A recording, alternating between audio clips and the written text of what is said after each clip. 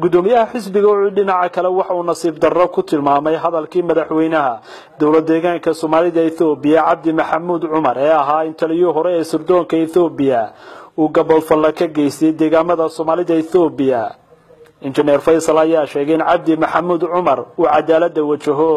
Waan ka xumay dee inuu madaxweynihii kilaka shanaadna inuu dadkayga waxaan u leeyahay waa la amriyey waxaa la yidhahaa soomaalida waxay jiraa? Falaadhi gilgilato kaagama. Kaagama goob dadkii aad amba lagu xaya xabadha lagu dhafo amba xubur aas ha ku qabatay. Anu waatan hol ka sheegay. The only person qofka qura soomaali ninkaa sheegay baan ahay. Kuwii caayiye iga daba hadle cimaamadaasita khayrawayaashii iga daba hadle markaan lahaa meesha waxa ka socdaa waxaan jijiniya ka socotay baan tii ingiriis ee ruushku.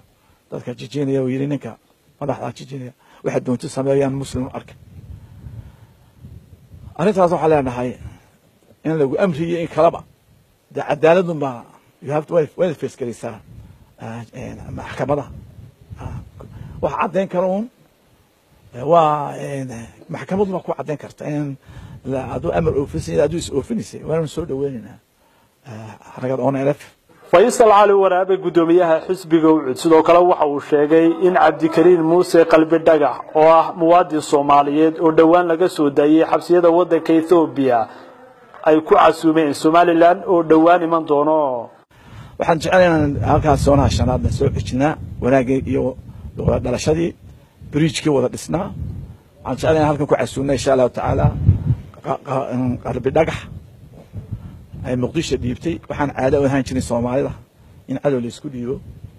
Isna waa casuumina insha allahu tacala sidaan bilo rabtay waa casuunay. Sidaan ayna xalano casuunay. La waxaana isdhalay walaala ah dadka iska xigaan nahay. Isna markaan soo noqonay insha allahu tacala program baan samayn doonaa. Inaan u yeedhno ayahiina ka talino soonaha shanaad.